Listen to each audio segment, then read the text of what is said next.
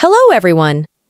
In this tutorial, we will guide you through the process of creating an SSH Stunnel server account on SSH Ocean. For more help and guides, please visit our website, UDP Custom. Search for it in any browser to create your desired server account. But before we dive in, don't forget to hit that like button and subscribe to our channel for more tech tutorials and updates. Let's get started. Step 1.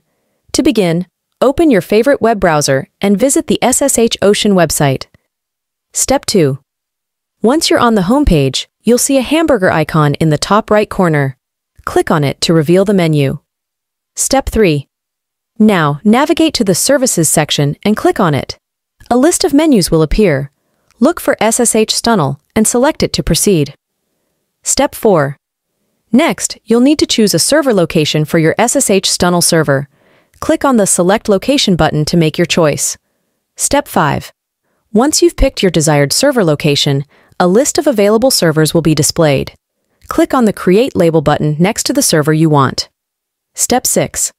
After selecting the server, it's time to confirm your choice. Click on the Create button to proceed. Step 7. Now you'll need to set up your account.